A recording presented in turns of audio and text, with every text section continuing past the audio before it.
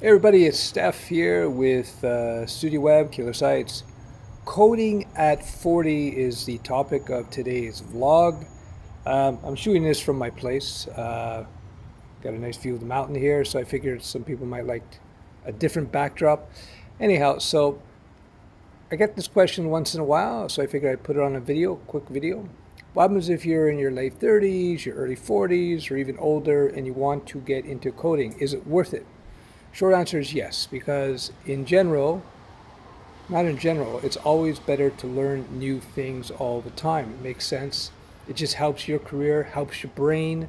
It's just a better overall. But learning to code, I believe, should be something that everybody should learn, whether they be young kids to grandparents. And actually, I've had people in their 80s learn coding from me in the past. So if 80 year olds can learn how to code, you in your 40s or 50s can learn how to code. Now, uh, coding goes way beyond simple app development in terms of its benefits. You could use coding all kinds of different things. You could use it to develop websites, web apps, mobile apps for iOS, iPad, Android, any type of thing. But you could also use it to do things like automating uh, Google Docs, so whether it be automating spreadsheet functionality or Word functionality, that's an option for you as well. So even if you don't intend to become a coder, if you're a professional, if you're going to become an accountant or you're a, a lawyer and so forth, you might be able, you you might find coding very valuable for you in terms of just automating common office tasks. So that's kind of cool. There's a lot of power in learning to code that goes way beyond your typical careers. So maybe you might be somebody who's looking at retirement and you're looking at some sort of hobby. Believe it or not, coding could be a lot of fun in terms of a hobby. Give you some something to occupy your mind, something to strengthen the brain cells, if you will. Uh, also, might give you opportunity to pick up some freelance work here and there, helping uh, accounting firm automate their spreadsheets, uh, maybe build their website, helping uh, you know any type of small business do different things. It's there for you. Now, if you're in your late 30s or 40s and you're looking for a career in coding, as a freelancer, it's not a problem. Or, you know, once you learn how to code, we talked, I've talked about this in other videos, you can get into a whole bunch of other um, avenues in terms of careers, whether you, you're freelancing, whether you go work for a small company or a medium-sized company or even a big company.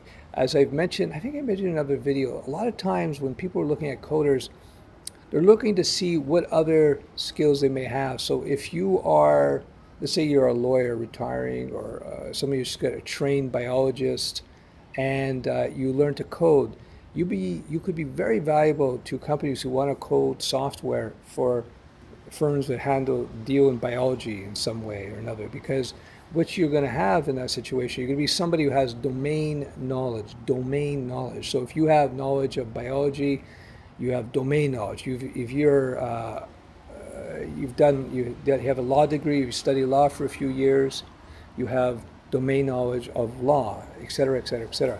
So coders with good dom domain knowledge are very valuable to uh, firms because that combination is very, very, very, very uh, effective in terms of building apps and building solutions. Because the biggest problems that a lot of coders have is that they don't understand the domain that they're coding for. So it's hard for them to, to, to predict what the app should do and how it should work. But if you understand what the professionals in the particular domain you're writing software for, what they're looking for and how they work, then your your apps will be better as a result of that. So keep that in mind. So yes, coding in your 40s, why not? Um, it may take you, uh, if you're in your 40s or 50s, maybe it'll take you longer than a 20 year old to learn stuff, but who cares? Once you get there, whether it takes you a month or two months, big deal. You know, in terms of learning something, it's going to take more than two months to become a professional coder, but uh, nonetheless, if it takes you a little longer because your brain is not as pliable as a 20 year old, whatever, you just uh, pick it up and it will come, it will come, it will come. One thing older people have is they have patience, and that's a virtue. All right, I hope you found this useful. Ciao, ciao.